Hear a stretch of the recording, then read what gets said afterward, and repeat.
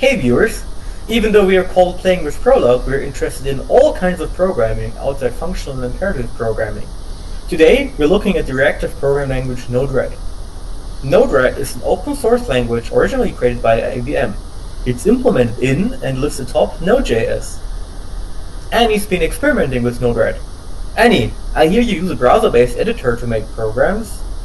Yes, programs are called flows in Node-RED. Uh, here, I'll show you. I'll make a simple flow here that uh, grabs Google's homepage. Uh, first, I'll add an inject node. Uh,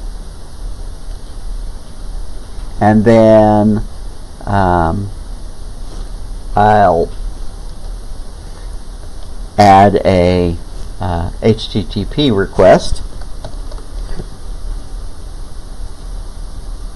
And then I'll add a debug mode.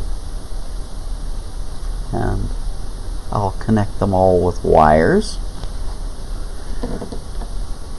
Uh, now we need to set some configuration in these nodes. I double click on the HTTP request and get this uh, info panel. Now I have to set the URL, of course, to get Google's homepage um, and uh, then um, I'll just return it as a UTF-8 string. That's fine. So I'm done. Uh, these wires are paths for messages. Messages are JavaScript objects. The actual content of the message is a message is a field in the message called payload. Uh,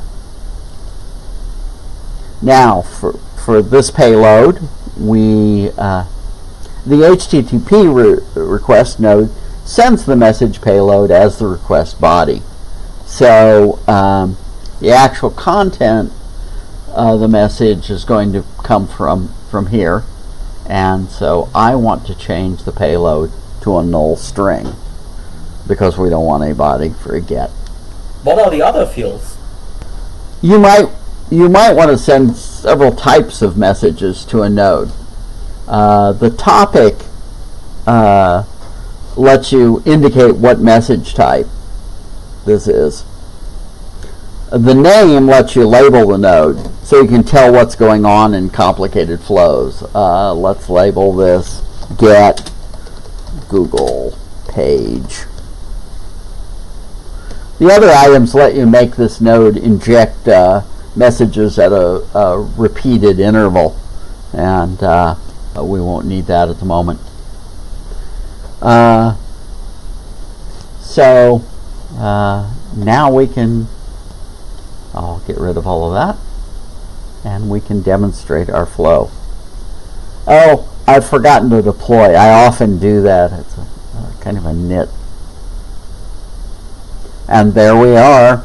Uh, this is the contents of Google's homepage. So is Node-RED just for these kinds of HTTP operations? Uh, no, it'd be great for uh, like a scientific workflow or a machine learning pipeline, uh, or the cert read a file and then write a file uh, transform that's pretty common fare for programmers. Uh, I'm using it to control a robot what you showed really just did I.O. How do you do computation? Here's a flow that reads the ultrasound sensor. This node injects a message uh, four times a second to read the start the this read and display process. Uh, that's awkward for debugging to have it repeatedly sending. So I put this switch in. Uh, the switch Switch nodes only forward their message if a certain condition holds. In this case, the condition is some state I'm holding. Node-RED provides context objects at the node, flow, and global levels. Here I check if this variable is set. I control that variable with these two buttons. What's the orange block that says set ultrasound repeat? That's a template node. Uh, it I uh, set the value of the repeat ultrasound field in the flow context, in the flow level context, to the message payload. This controls that switch we were looking at. What do the double curly braces mean? Uh, that's a template uh, from the mustache template language. Uh, there are lots of places in Node-RED where you can use mustache, and it reduces a lot of busy work code. This node does an HTTP request. The body is the payload. Uh, the ultrasound sensor range sensors sense distance in centimeters. It's a string, and there wasn't a node to convert from a string uh, to a float, so I had to use a little JavaScript. Uh, the node just converts it into a float.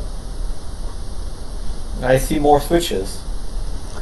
Yeah, the sensor data is dirty. Um, so I wrote a Prolog filter to clean the data by marking values good or bad. And I wanted to be able to switch it in and out and, and compare. Um, did you did you use more of the uh, kind of lavender inject buttons? So Node-RED allows us to make a dashboard like this. Um, I put a switch on the dashboard here. And I think I see. The light blue is the node that sets up the GUI control. But how does the value initially get set? See this inject? It's got a tiny 1. I don't know if you can see that. I set that to send a true message at the startup. So we have two paths of messages now. One with the filter and one without. Yes, the top one takes the number and just wraps it in a measurement object using a template. The bottom one takes a string and converts it to a Prolog term. It then passes that uh, as a query to a Pengine node. Oh, it supports Prolog? Yeah, there was already a uh, Pengines package uh, for Node.js, and I just made a what they call a palette module uh, to add Pengines to Node-RED. Uh, it was pretty easy, even though I actually don't know Node. What about these next switches? Uh, the Prolog data sends data. The Prolog sends its data on, uh, but marks it as valid or not valid. Um, I need to separate the valid data from the invalid data.